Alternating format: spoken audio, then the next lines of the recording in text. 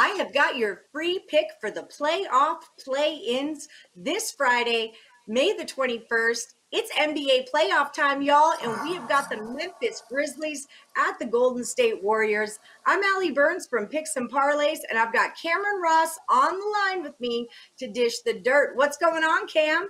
What's going on? You know, just living in this bubble, trying to get through. So far, so good, I must say.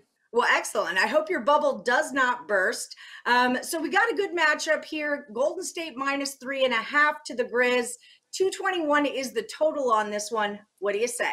Yeah, you know, uh, not so surprised on my end that it's the, it is these two teams. I uh, I had the Grizzlies last night winning. I had a minus four. Ja Morant missed the free throw, so that was a push. But I did have the money line as well, so we did get halfway there. I didn't have any pregame action on the Warriors Lakers, but I'm not surprised the Lakers got through because the Lakers really needed that win to get that extra day of rest. With that being said, the Warriors will have gone from LA to Oakland. You know, it's like that far, as opposed to Memphis going from Memphis to Oakland all the way across. Memphis came out on fire last night, uh, had an 18 point, 19 point lead, 21 points three times in the first quarter they were up, and then blew it and had to hang on at the end.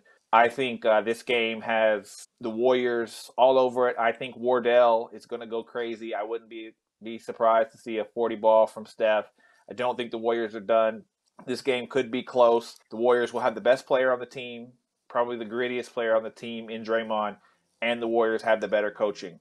Put all that together with the travel. The Warriors have been there. The Warriors know what it takes. I'm going to go with Golden State to get it done, cover, and get into the playoffs. All right. Well, I can't say that I don't like that. Draymond is a gritty dude. And I remember him at Michigan State. He was a gritty dude. That is for sure.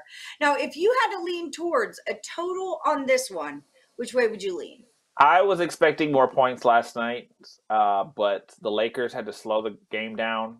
With Steph, I do think Steph's going to have 35, probably 40. The Grizzlies shot the lights out early on in the game last night. And like I said, they had to hold on. I wouldn't be surprised if this one went over, but the second game in three days with the travel for these teams, I would probably lean towards the under in this game. But my best bet is on Ward on Wardell and the Warriors to get it done. All right, well there you have it. Picks and parlays view crew. Cameron Ross is taking the Warriors minus the points, and we're leaning towards an under. Don't forget to like, subscribe, and push that bell for notifications.